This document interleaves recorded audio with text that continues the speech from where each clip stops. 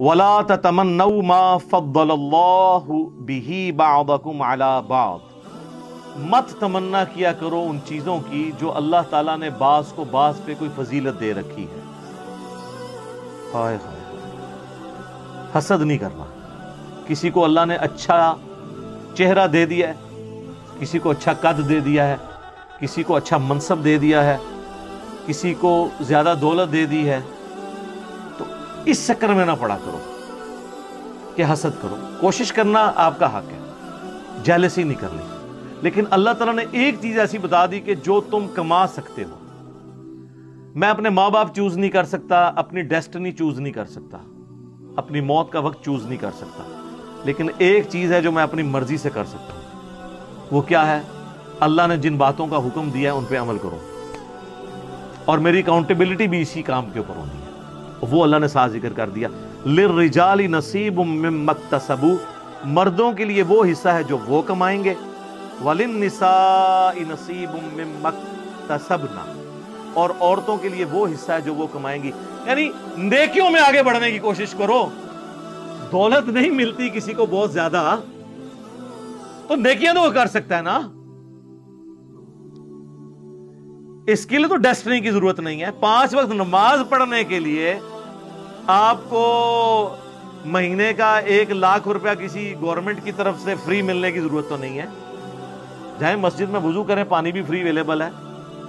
आपसे कोई बिजली का बिल भी नहीं मांगेगा। जाए नमाज़ पढ़े।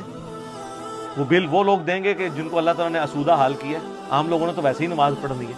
तो नेकियों में आगे बढ़ सकते हो। किसी के साथ खुश अखलाकी से बात करना।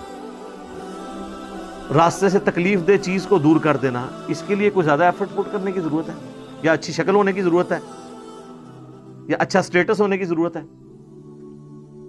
सही मुस्लिम में हदीस है, हर तस्बीह सदका है सुबहान अल्लाह हर तहमीद सदका है, यानी अल्हम्दुलिल्लाह। हर तहलील सदका है, यानी ला इलाहा हर तकबीर सदका है, अल्लाह अकबर कहना। अमर बिल मारूफ व नहीं अनिल मुनकर, लोगों को नेकी का हुक्म देना और बुराई से रोकना। अपनी अपनी डोमेन के अंदर यह भी सदका है। और तुम्हारा अपने बीवी बच्चों के मुँह में लुकमा डालना भी सदका है, हत्या कि तुम्हारा अपनी बीवियों के साथ इस दवाजी ताल्लुक। जो आप समझ लें, खालिसतन जो है, एनिमल इंस्टिंक्ट है। वो भी सदका है। साहबा को बाकी चीज़ें तो हजम हो गई, उन्होंने कहा, ये बीवियों से ताल्लुक कायम करना भी सदका है, इस पर भी स्वाब मिलेगा। तो आपने फरमाया, अगर ये ही चीज़ तुम किसी ऐसे तरीके से पूरी करो, जो तुम्हारे लिए हलाल नहीं है तो क्या तुम्हें गुनाह मिलेगा? साहबा ने कहा, मिलेगा। तो आपने फरमाया, फिर इसके ऊपर सवाब भी मिलेगा।